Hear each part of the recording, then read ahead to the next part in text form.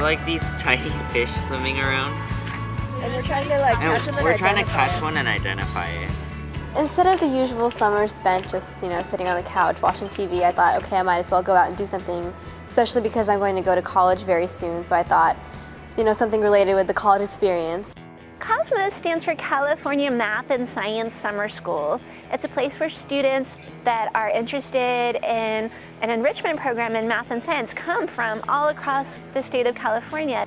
And they get to take classes um, with top professors, work in labs, produce research projects, and we also have high school teachers that are called teacher fellows. They are there to assist the students um, with their research and teach them technical writing. They have a very vibrant social life here in the dorms as well. Um, and so they really learn what it's like to be a college student while they're in high school. So it sounds like one, two, three, four, one, two, three, four, one, and Okay, At first, so it was a little uh, difficult choosing which Cosmos uh, university to apply to, but then I saw that UC Irvine had the only music cluster, psychoacoustics and math, so I said, okay, I'm definitely going to apply there, and here I am. So we have eight different clusters. Um, they range from all of the different science and technology fields. Today we are taking uh, Cluster 4 uh, to Back Bay Science Center to work on their independent research project. It's called Life on the Edge, uh, the biodiversity and ecosystems of coastal California.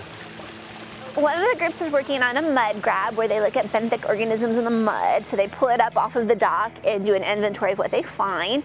Um, other groups are looking at the filtration ability of organisms that are naturally found in this area, such as clams, and how they work to clean the water of different pollutants. They will uh, produce posters based on their projects, and they will present those at a, a poster session on the last day.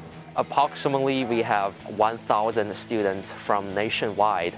Most of them are from California apply to this program, and only one-tenth of them get into this program. Uh, so it is highly competitive. These students are the best of the best. We've been living in the dorm, eating in the cafeteria, um, and also getting used to making friends in a place that we've never been to before. Um, I think when the time comes for college, I'll be able to adjust really quickly because I've um, been in Cosmos. This is for like, yeah. So like. Uh, the focus here in Cosmos is about the process of learning. And that's something that a lot of these kids haven't been exposed to. So the, for example, these kids here, their challenge is to build an aircraft wing, you know, and it, it's got to fly. Going through that process and working together collaboratively to get all that done is something that a lot of these students don't have experience with, and they get a chance to do that here. My school doesn't have a very strong music program. We don't have an orchestra. We just have a band. So um, I thought this would be another outlet that I could explore music professors are really um, willing to work with you one-on-one, -on -one, and so I think that's really, it's definitely a great learning experience as well as a lot of fun. So. It's good to be around other smart people who have similar interests because a lot of times students feel like, oh, you know, my high school, they don't like us to be smart or, you know, I don't want to be the nerd, but we're all nerds here and it's okay and we all love it. My parents are very proud of me. They do come on Sundays to make sure I'm okay and having a program that was with the UCs and that was very well known was a great first step for them and for me into the college life. Cosmos has definitely made me want to go to UCI. The people are so friendly and helpful, and it's a great campus. Cosmos has been a great experience for all the students who have come through, um, and I don't have any doubt that we will continue to change the lives of every student that comes through this program.